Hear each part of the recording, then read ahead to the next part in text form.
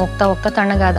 ನಟ, ನಿರ್ದೇಶಕ ರಾಜವಿ ಶೆಟ್ಟಿ ಸಿನಿಮಾಗಳೆಂದರೆ ಅಲ್ಲೊಂದು ವಿಶೇಷತೆ ಇದೇ ಇರುತ್ತದೆ ಎಂಬುದು ನಂಬಿಕೆ.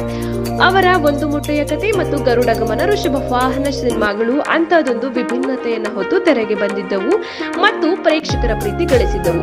ಈ ಬಾರಿ ರಾಜ್ಬೀರ್ ಶೆಟ್ಟಿ ಟೋಬಿ ಅವತಾರ ಎತ್ತಿದ್ದಾರೆ. ಇಲ್ಲಿ ಅವರು ತೆರೆ ಮೇಲೆ ನಟಿಸಿದರೆ ತೆರೆ ಹಿಂದೆ ಬರಹಗಾರನಾಗಿ ಕೆಲಸ ಮಾಡಿದ್ದಾರೆ. ನಿರ್ದೇಶನ ಬೇರೆಯವರದು. ಸಾಕಷ್ಟು ನಿರೀಕ್ಷೆ ಹುಟ್ಟಿಸಿದ ಈ ಸಿನಿಮಾ ಹೇಗಿದೆ ಎನ್ನುವುದನ್ನ ನಾನು ಇಲ್ಲಿ ಹೇಳ್ತಾ ಹೋಗ್ತೀನಿ. ಟೋಬಿಯ ಕತೆ ಏನು ಎಂಬುದನ್ನ ನೋಡುವುದಾದ್ರೆ, ಹೆಸರಿಲ್ಲದ ಆ ಬಾಲಕ ತನ್ನ ಅಪರಾಧಿತದಿಂದಾಗಿ ರಿಮ್ಯಾಂಡ್ ಹೋಮ್ ಸೇರಿದವನು ಹಲವು ರೀತಿಯ ದೌರ್ಜನ್ಯಗಳಿಗೆ ಒಳಗಾಗಿ ಸಮಾಜದ ಕ್ರೂರತೆಯ ಕಾರಣದಿಂದ ಮಾತನ್ನೇ ಕಳೆದುಕೊಂಡವನು. ಅಂತವನಿಗೆ ಒಂದು ಹೆಸರನ್ನಿಟ್ಟು ಆತನನ್ನು ಮನುಷ್ಯನಾಗಿ ಮಾಡುವ ಪ್ರಕ್ರಿಯೆ ಆರಂಭಿಸುತ್ತಾರೆ ಓರ್ವ ಪಾದ್ರಿ. ಮುಂದೆ ಹೆಣ ಕುಯ್ಯುವನಿಗೆ ಸಹಾಯವನ್ನಾಗುವ ಟೋಬಿಗೆ ಸ್ವಂತ ಸೂರಿಲ್ಲ. ಶವ ಕುಯ್ಯುವಾಗಲೂ ಆತನಲ್ಲಿ ಮರುಕವಿಲ್ಲ. ಆ ಶವಗಾರವೇ ಆತನಿಗೆ ಎಲ್ಲ. ಇಂಥ ವಿಪೀಕ್ಷಾ, ವಿಚಿತ್ರವಾಗಿ ಜೀವಿಸುವ ಆತ ತನ್ನದೇ ಒಂದು ಬದುಕು ಕಟ್ಟಿಕೊಳ್ಳಲು ಮುಂದಾಗುವಾಗ ವಿವಿಧ ತರದ ಜನರು ಮತ್ತು ತೊಂದರೆಗಳನ್ನ ಜೊತೆ ಆಗ್ತವೆ ಅವನ ಪ್ರಪಂಚದಲ್ಲಿ ಆತನ ಕೋಪ, ಉದ್ರಿಕ್ತ ಮನೋಭಾವವನ್ನ ಲಾಭಕ್ಕೆ ಪಡೆದುಕೊಳ್ಳುವ ದುಷ್ಟರು ಇದ್ದಾರೆ. ಆತನಿಗಾಗಿ ಸದಾ ಮಿಡಿಯುವ ಮನಸ್ಸುಗಳು ಇವೆ. ಇದೆಲ್ಲದರ ಜೊತೆಗೆ ಆಗಾಗ ಎದುರಾಗುವ ತಿರುಗುವಗಳು ಇವಿಷ್ಟು ಅಂಶಗಳು ಟೋಬಿಯಲ್ಲಿ ಅಡಗಿವೆ. ಇನ್ನು ಟೋಬಿ ಸಿನಿಮಾದಲ್ಲಿ ರಾಜ್ಬೀರ್ ಶೆಟ್ಟಿ ಹಾಗೂ ಚೈತ್ರ ಆಚಾರ್ ಅವರ ಹೈಲೈಟ್ಗಳೇನು? ನಟರಾಗಿ ರಾಜ್ಬೀರ್ ಶೆಟ್ಟಿಗೆ ಈ ಸಿನಿಮಾವು ಮತ್ತೊಂದು ಹಂತ ಏರುವಲ್ಲಿ ಸಹಾಯ ಮಾಡಿದೆ. ಈವರೆಗಿನ ಅವರ ಎಲ್ಲಾ ಪಾತ್ರಗಳಿಗಿಂತ ಟೋಬಿ ವಿಶೇಷವಾಗಿದೆ. ಮಾತಿಲ್ಲದೆ ಬರೀ ಮೌನದಲ್ಲೇ ಎಲ್ಲವನ್ನು ಸಂವಹಿಸುವ ಪಾತ್ರವದು. ತನ್ನ ಕೋಪ, ನೋವು, ಅನುಮಾನ, ಅಳು, ದುಃಖ, ಸಂತೋಷ, ಗೊಂದಲ ಎಲ್ಲವನ್ನು ಬರೀ ಮುಖಭಾವನದಲ್ಲಿ ತೋರಿಸುವ ಸವಾಲು ಇರುವಂತಹ ಆ ಪಾತ್ರವನ್ನು ರಾಜ್ಬಿ ಶೆಟ್ಟಿ ಯಶಸ್ವಿಯಾಗಿ ನಿಭಾಯಿಸಿದ್ದಾರೆ.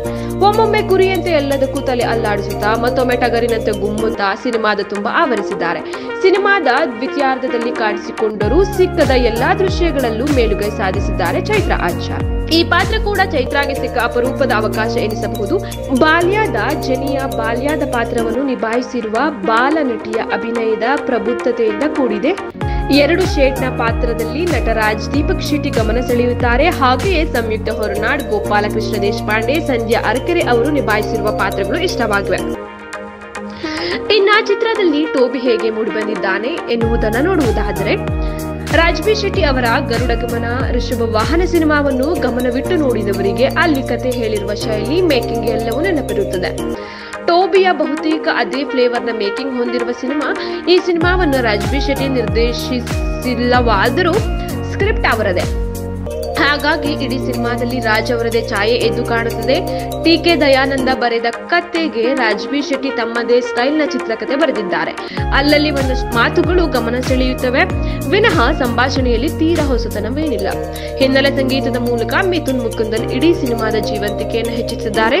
ಪ್ರವೀಣ್ ಶ್ರೀಯಾಮ್ನ ಛಾಯಾಗ್ರಹಣಕ್ಕೂ ಪೂರ್ಣಾಂಕ ಸಲ್ಲಲೇಬೇಕು. ಮೊದಲಾರ್ಧ ಕತೆ ನಿಧಾನವಾಗಿ ಸಾಗುವುದರಿಂದ ನೋಡುಗನಿಗೆ ಕೊಂಚ ತ್ರಾಸವಾಗ್ತದೆ.